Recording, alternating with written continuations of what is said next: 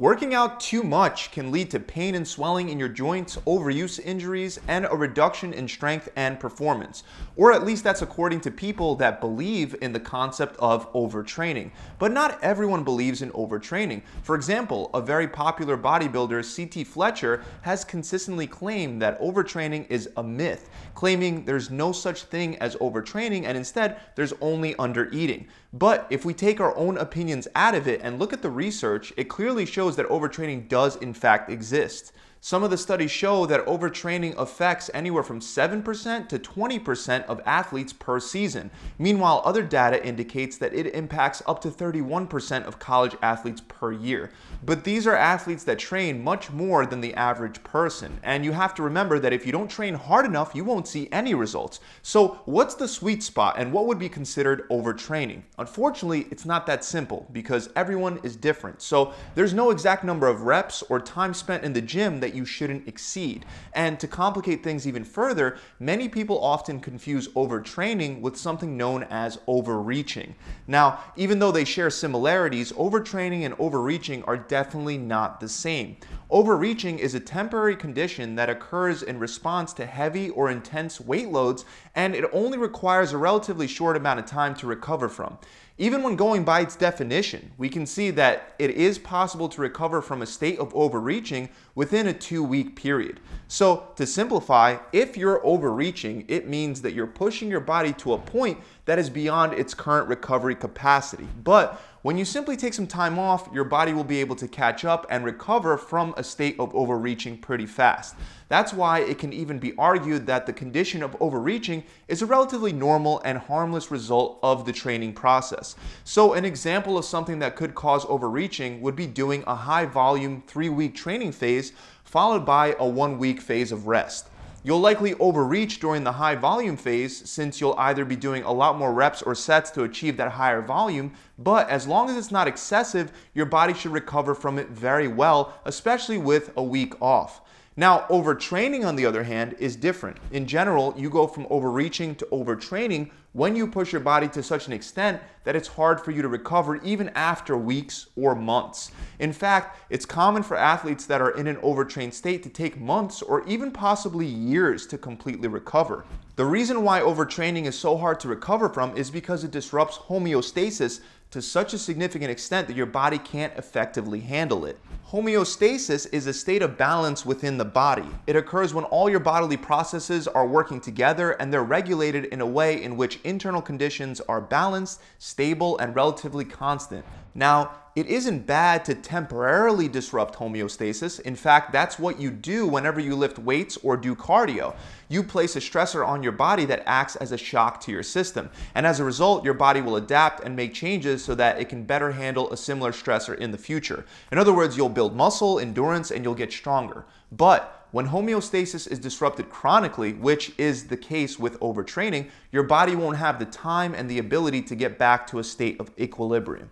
This can lead to a wide range of symptoms. For example, overtraining can cause acute and chronic immunosuppression, which means it suppresses your immune system, making you more likely to catch a cold, get an infection, or get sick. You can also be affected mentally. Mental health issues like depression, anxiety, lowered libido are all common side effects of overtraining. And interestingly, it works both ways. Physically, overtraining can increase mental stress, and vice versa. More mental stress can increase the chances of overtraining. I'll go over that more in a minute, but another obvious issue you'll run into as a result of overtraining is decreased performance. This is usually the most common way to check if you're in a state of overtraining. Even though you might be training hard and supposedly doing everything right, your performance and your output during your workouts isn't showing it. So either you make no gains at all, or even more likely, you might have a reduction in your athletic performance even though you're working hard. Another thing that can happen to your body is weight loss. This usually happens because overtraining can reduce appetite. That might sound counterintuitive because you would assume it would increase appetite, but that's actually not the case. Overtraining can cause hormonal influences that make you feel less hungry and reduce your desire to eat. You can also develop sleep problems because overtraining overstimulates the sympathetic nervous system, which is your body's fight or flight response, making it harder for you to fall asleep and stay asleep. On top of that, most people are already pretty familiar with the side effect of having a higher risk of injury from overtraining. This can happen for a variety of different reasons, including the fact that overtraining leads to excess fatigue. This excess fatigue impairs coordination and the ability to maintain proper form, which is very likely to lead to an injury. Aside from that, like I said in the beginning, overtraining has adverse effects on the quality of your connective tissues, which includes your tendons and ligaments. This also makes it more likely that you'll get an injury like a hamstring strain, shin splints, or another very common one, patellofemoral syndrome, which is actually the most common cause of knee pain. Aside from all of that, when you work out too much, you'll also experience chronic muscle soreness. You'll feel more irritable, and you'll experience a decline in your motivation to train. Keep in mind that even though all of these are the most common symptoms of overtraining, it doesn't mean you'll necessarily experience all these symptoms at once. Usually, you'll only notice a couple of them. Now, the big problem is that even when athletes do recognize these symptoms, they usually don't pay them much attention at all, which ironically may have been the cause of them overtraining in the first place. They might have ignored things like a nagging injury, excessive fatigue, low libido, elevated anxiety levels, or a decline in performance. And that's the catch 22 with overtraining. Usually it happens when you're most motivated to reach your goals and you're not paying attention to how your body is reacting. So, as weird as it sounds, even though motivation and that drive to see results can be really helpful in some cases, when it's taken to the extreme, it can backfire and lead to overtraining. Now, I already mentioned earlier that other than physical stressors, there are also mental stressors that can lead to overtraining, especially when you experience mental and physical stress at the same time. That's because for your body, it doesn't matter where the stress comes from. Whenever you exceed its ability to handle that stress for extended periods, you'll disrupt homeostasis and run into problems. And we have evidence of this in action. For example, in a review study published in the Journal of Sports Medicine, the researchers noticed that the stress can come from not only training, but also from physiological stress as well as illness. That's why overtraining is more likely to become an issue when you go through a mental hardship, such as the loss of a loved one, financial difficulties, or relationship problems.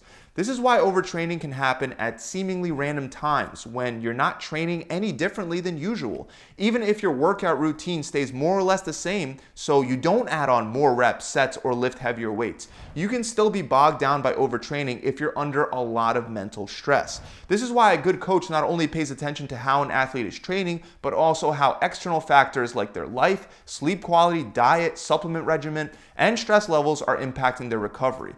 But you might not even have a coach. So the question is, what can you do to assess whether you're overtraining or not? And are there some preemptive actions that you can take to avoid it in the first place?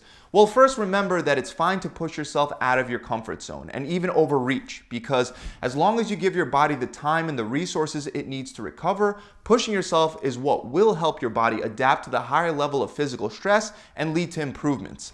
If you keep your training volume really low because you're afraid of overreaching, you'll most likely see either very limited or no results at all. In fact, studies show that there tends to be a dose response relationship between training volume and muscle growth. So the more sets, reps, and weight you use, the more muscle you'll tend to gain. So sticking to a low amount of volume is definitely not the solution. But with that said, this dose response relationship between volume and muscle growth only holds true as long as you can actually fully recover from your workouts. So I want you to imagine it as a bell curve. A well known sports scientist, Eric Helms, actually depicts this bell curve in his book. You can see that there's an optimal training volume, and if you go above or below that, you'll impair your results. So to find out if you're overtraining, start by asking this question Am I making progress at the gym? Am I increasing the weight I can use, or am I at least able to perform more reps with a given weight load? Now, there's a number of reasons why you might not be making progress. So, this is definitely not the only question you want to ask, but it is the first question because if the answer is yes and you are improving, then by definition, you are not in an overtrained state. Now, if you have hit the point where you're not making any additional progress, ask yourself the following questions Am I consuming enough calories and protein? Am I getting enough sleep? Am I following a solid workout program? Am I training hard?